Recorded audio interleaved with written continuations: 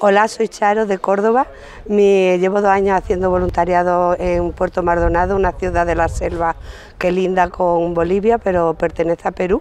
Y allí voy a hacerlo a una casa, de, un hogar de niñas abandonadas.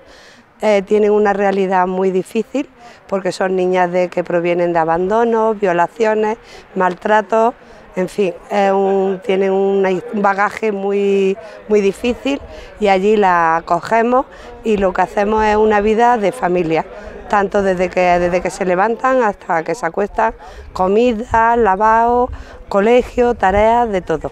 Y es una experiencia muy satisfactoria porque conoces una realidad muy distinta a la que vivimos en nuestro país.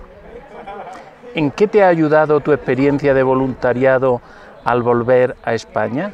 A ver la vida de otra manera como la tenemos aquí y ver de todo lo que nosotros tenemos allí, de todo lo que ellos carecen.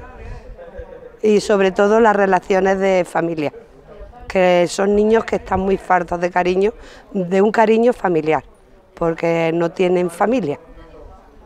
¿Y qué le dirías a un joven que se esté planteando participar en un campo de trabajo? Que vaya, que se va a alegrar, porque es una experiencia inolvidable, haces muchas amistades y personalmente estás muy satisfactorio contigo mismo.